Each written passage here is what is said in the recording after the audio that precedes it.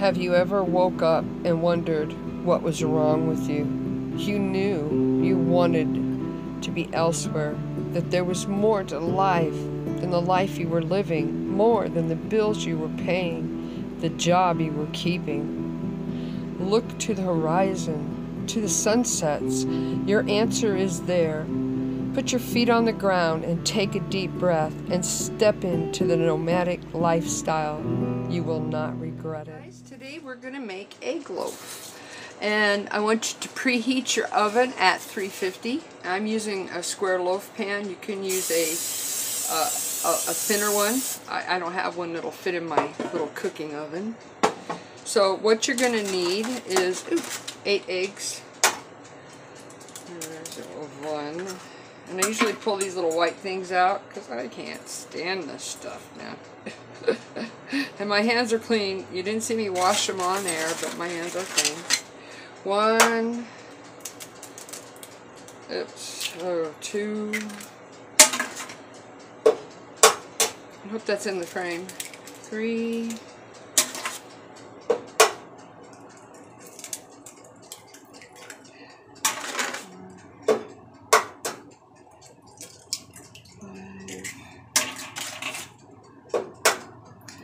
Six,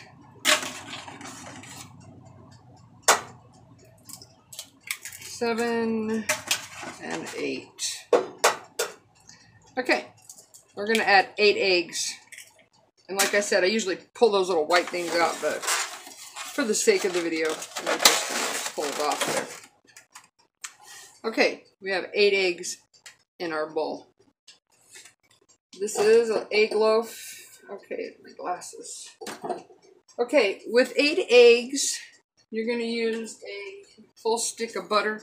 You guys, I've had these out of the refrigerator for probably about a half hour. It's 117 here in Arizona today.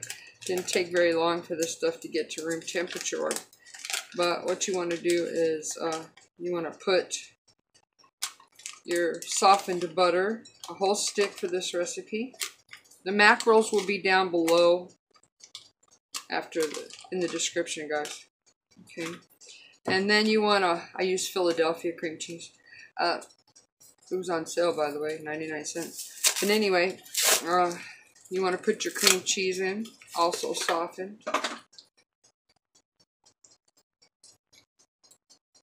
You guys, I will show you the final product. My camera does not like to be put on pause. And with that being said, please wait after this video ends and me prepping this and getting it ready to go into the oven. Uh, stay stay tuned because there'll be a video afterwards showing you. Oh gosh, I usually keep yeah. I usually keep scissors because of my nails. Um, there'll be a video afterwards showing you the product after it comes out of the oven. You know what? This is just new on the scene for those who um, are diabetic on ketose, uh, ketose diet, or like me, have a block duck. Oops, oops, oops. Yeah, I can't, uh, yeah. I've taken it more serious. Yeah, taking my eating habits a little more serious lately. So anyway, into this. Now you want to, let's move that over there. You want to blend this, guys. You can use a blender. Ooh, cream cheese under my nail. Uh, you can use a blender, a food processor, and I would have done down my food processor, but I wasn't in the mood. We're gonna swap this all around.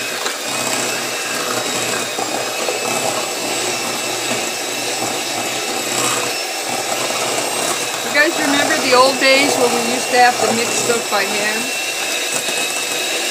My little sister was notorious for licking the bowl.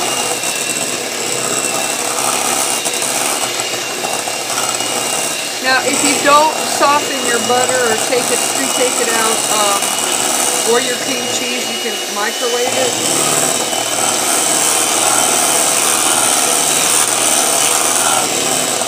Because as you guys can see, I had that cream cheese out. It's still taking a minute to get this all blended.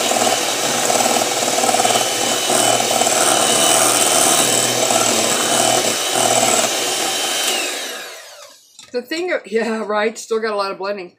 The thing about this recipe is it tastes like French toast. You can make it savory. You don't have to add the, the I'm adding um, a sweetener. You want to add uh, two tablespoons. Let me see here. I do believe it's, no, you want to add, I'm going to add drops to this. I'm thinking about another recipe. I'm doing another recipe about jar ice cream. Nummy num num. Um, to make this taste more like French toast, I'm going to add just a little bit of my stevia drops. There's no carbs in that. And you want to use real cinnamon. This is real cinnamon, guys. Look it up on the internet. The other stuff can kill you. The fake stuff. You've heard me mention that before. You want a fourth of a teaspoon of cinnamon, real cinnamon, eh, if you got it. If not, use your fake stuff. Okay. And we're going to go back to beating this some more.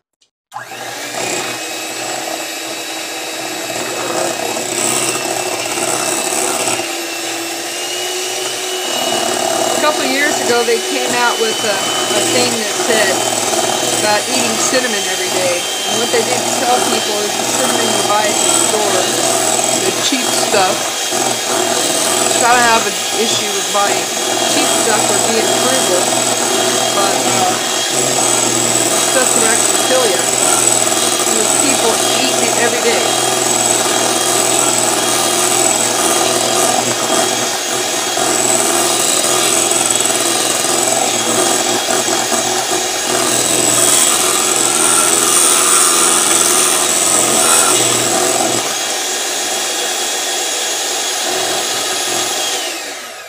Okay, I'm thinking that, that we're going to do that just like that.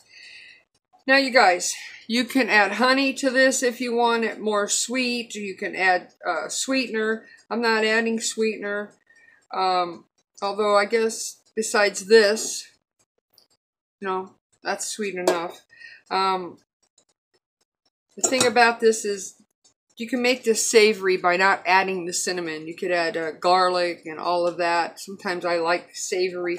Um, yeah, let me make sure. No. Sometimes I like savory French toast. I'm just going to put some butter on there. Makes it more like a meal. Let's put this on high for a few minutes. Sorry about the noise. Like how I rigged my camera.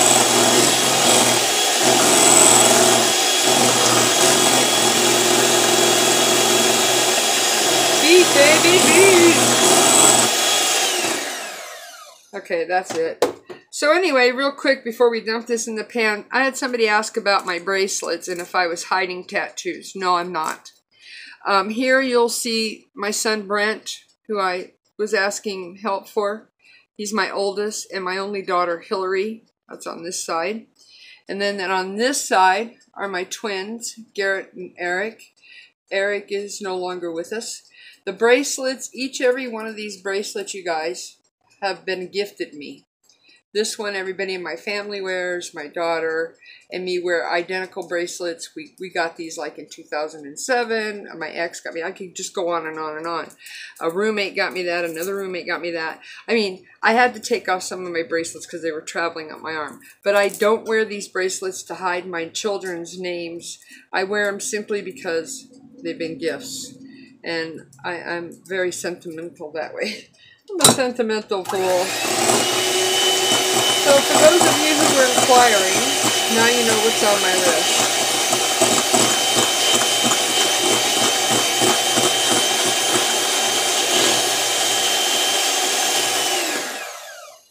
I do have um, other tattoos. Every one of my tattoos, you guys, um, has a meaning.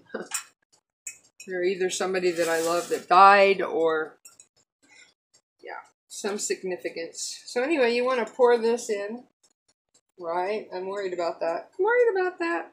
Um, grab a spatula here.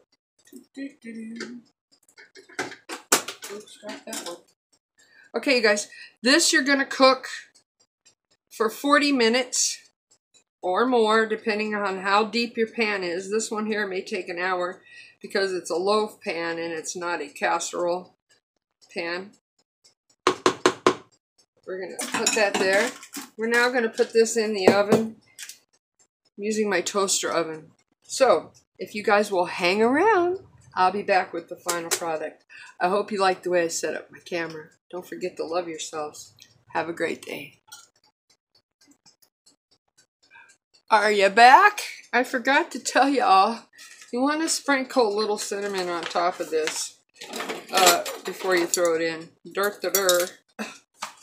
You guys, this is going to rise, by the way, so you want to make sure you've got a couple inches um, for this to rise. So sprinkle some cinnamon on there. By the way, I got this cinnamon on eBay, of course. Free shipping.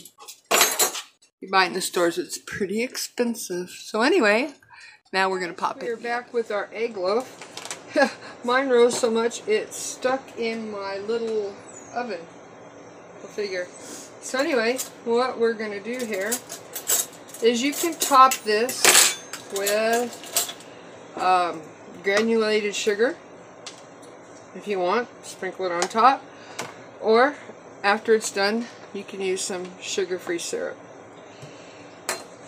If this is sweet, so today I will not be topping it with just butter. And I got to tell you guys, there's enough butter in this already. This is uh, be cut into six slices for me, maybe eight. Um, I'm putting the macros down there for six slices. There we go. I know it don't look so good, but you know what? I hear it's delicious. This is going to be my dinner today. So, uh, let me see here. This has five carbs for two tablespoons. So we're not using two tablespoons. We're going to use about a teaspoon.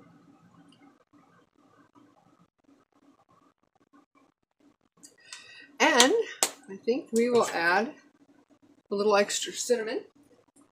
Already put that away. A little extra cinnamon here. Hang on, it's coming. Da, da, da, Let's see. So, right, a fork.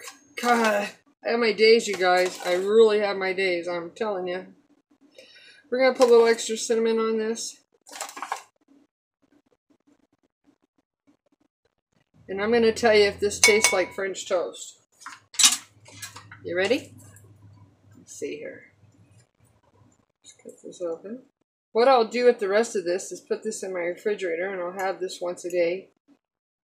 Wow, it's fluffy, you guys. Hold on. oh my god. god, you guys. Mmm. It tastes just like French toast. I kid you not. This tastes just like French toast. Mmm.